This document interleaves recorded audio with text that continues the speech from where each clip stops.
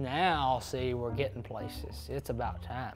People are going to know when I'm not at the Wyndham Cup, and then you air this at the Wyndham Cup, yet we're sitting on the throne of lies. Hi, I'm Cullan Brown here this week with the dog lover, fan of Leonardo DiCaprio.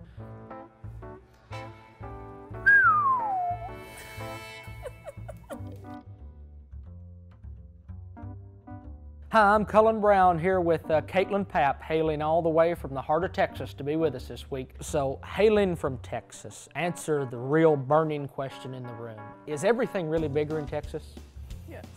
I'm sure you've been around a lot of Texas. And uh, what, what's your favorite part?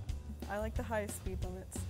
What's your favorite meal in all of Texas that you have partaken in? What's the best? Good old Texas barbecue. That was the correct answer. Moving forward, we're going to play a happening game of thumb war. One, two, three, four. I declare a thumb war.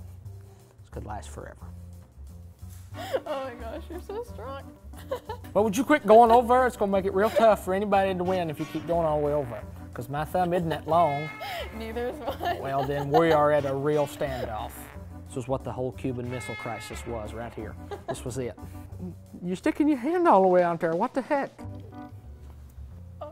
Oh, Oh, that was a close one there.